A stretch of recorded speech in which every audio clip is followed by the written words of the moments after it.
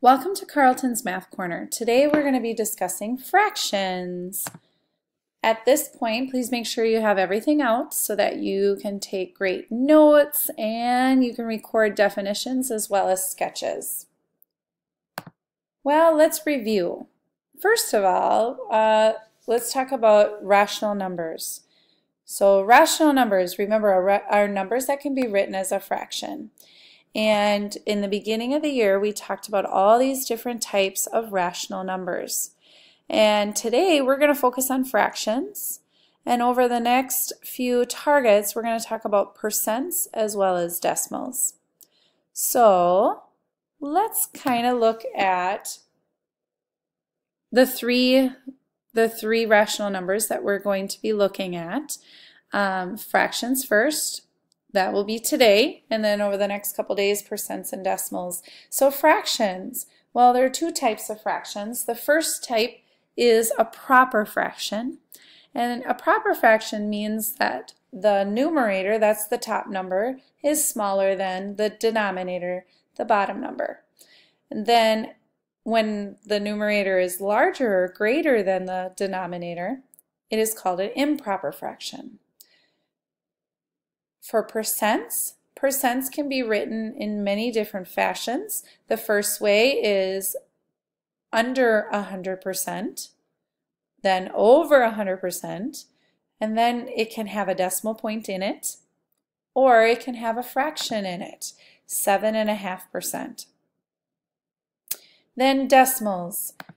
Decimals can be under 1 they can be over 1 and they can look like a whole number. And actually the decimal point is at the end. You just don't normally see it like this. You don't walk around and say, you know, I am 12 point years old. Or I have a hundred point dollars. That's usually not how you say a whole number, but whole numbers are decimals. Uh, or you can actually see the decimal point, and that would be the last example. And so the decimal point is in between a whole number as well as a fractional part. Okay, and so these are the three types that we're going to be looking at for um, different types of rational numbers. And this is what we're going to look at for the next few targets.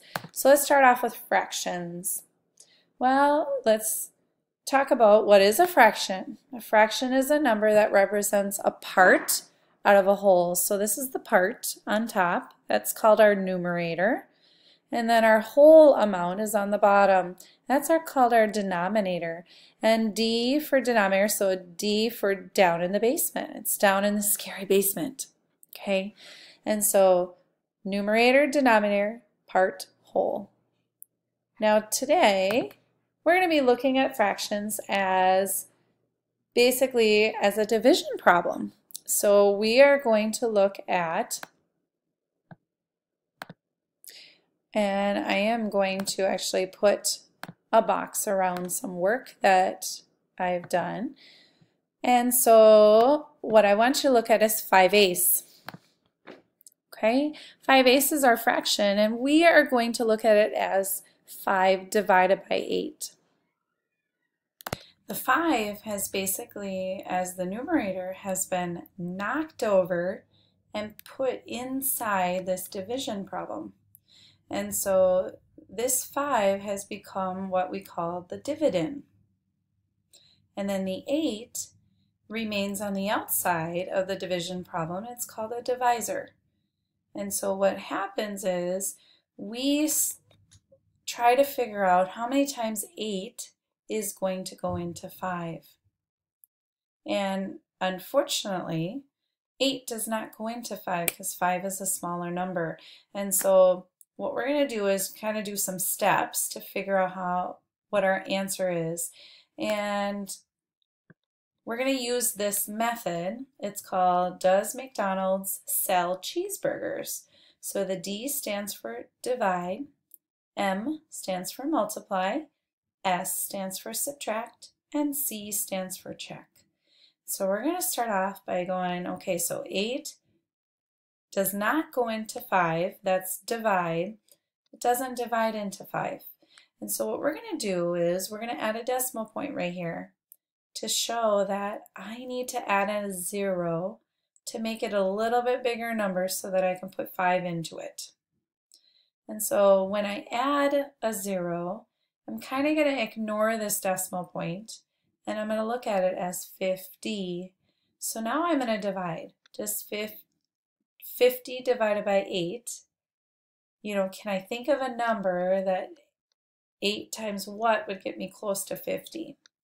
Well, I know that 6 times 8, 6 times 8 is 48. Well, that's really close.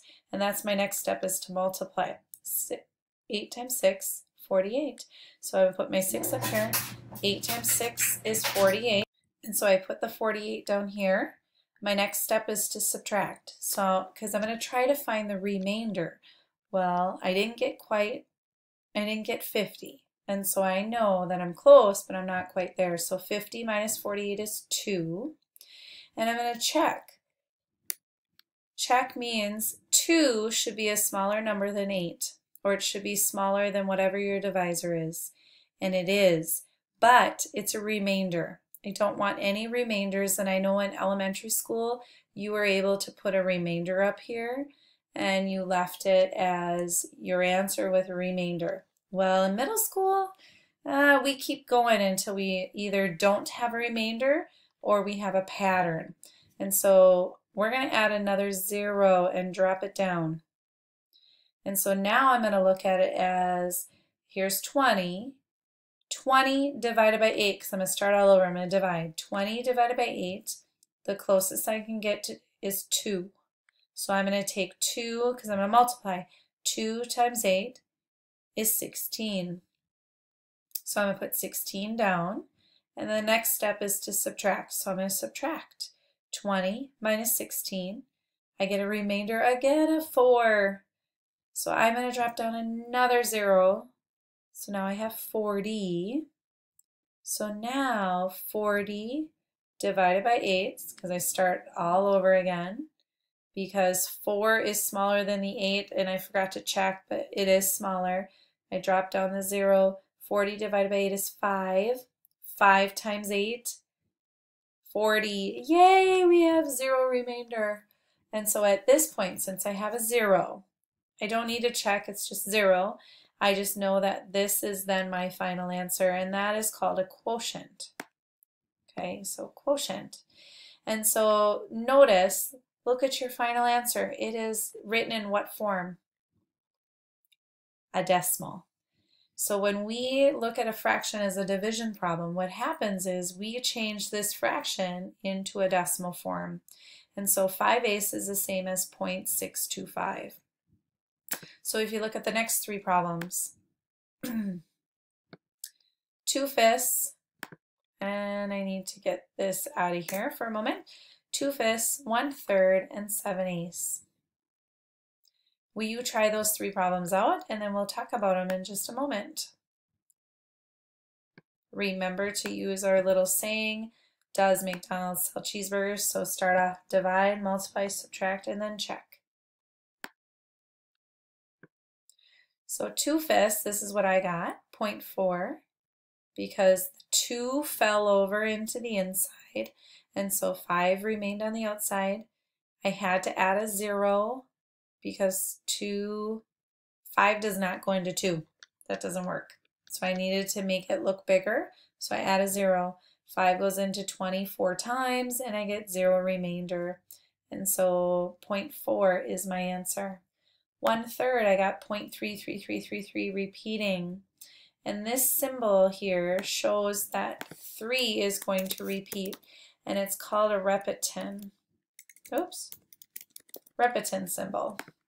And so this shows, this line is, you always put it over the number that has the pattern. So 3 is being repeated, so that's what I put the line over is the 3. And remember I said you can stop either when you have a zero remainder or you have a pattern. And notice, look at the pattern. I start off with uh, 3 doesn't go into 1, so I add a 0. Well, 3 goes into 10 three times. But look what happens. 3 times 3 is 9. I subtract, I get a 1 again. So I have 1 again. 3 doesn't go into 1 again. Drop down to 0. Then I still get a 9 and I subtract. So the pattern just keeps going and going and going. So I can stop and say my answer is 0.3 repeating. Uh, 7 eighths, the last one. This is what I got. I got 0.875. This one I had to keep going until I got a remainder of zero. And it ended perfectly. It's a terminating decimal. So this is called repeating decimal. And we talked about these um, in our first vi video on rational numbers. This is called a repeating decimal. It repeats a pattern. This is a terminating decimal. It stops. Well, what would happen if I put a whole number in front of my fraction? Do you think we would do the same steps? Well, whenever I put a whole number in front of a fraction, that is called a mixed number. And so two and or seven and two thirds is an example of a mixed number. Which part do you think, the orange or the purple, which one do you think that we will have to divide and change to a decimal? You are right, the purple. Nice job. We will have to change two thirds to a decimal. And so let's change two thirds into a decimal.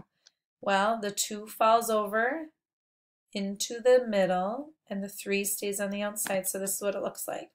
Two falls over, three stays on the outside. And notice it actually starts repeating a pattern. I love it. So we get 0.66666 and I'm just going to put a repeating sign on top. And so which part stayed the same on this mixed number? The 7. So this is the part we changed to a decimal because it's the fractional part. This part stays the same. And so this is the answer we get. 7 stay the same, and then 0.6666 is the second part of this answer. Or we write it as 7.6 with a repeating sign on it.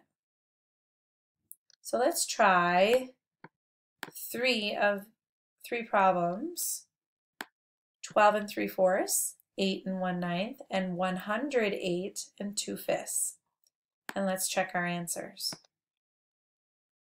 I'll give you a moment. Okay, so 12 and 3 fourths, this is what I got. First of all, I noticed that 3 fourths is my fractional part, so I changed that part to a decimal.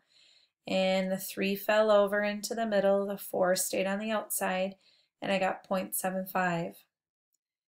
The 12 remained the same, that's my whole number, and so my answer is 12.75. 8 and 1 ninth. I notice 1 ninth is my fractional part. So the 1 fell over and the 9 stayed out. And so I got 1.11111. And so the 8 is my whole number. And so I kept that on the outside and I can write it as 8.11111 or easier way in mathematics is put a repeating sign on top of the 1. So it'd be 8.1 repeating. And lastly, 108 and 2 fifths. 2 fifths is my fractional part. And so 2 fell over into the inside, 5 stayed out. And when I divide it, I get 0.4. And 108 is my whole number, so 108.4 is my answer. Here are your ticket problems for tomorrow. Please complete these four. Write either the fraction or the mixed number as a decimal. Thank you so much for joining me at Carlton's Math Corner, and I look forward to meeting with you again to learn some new concepts.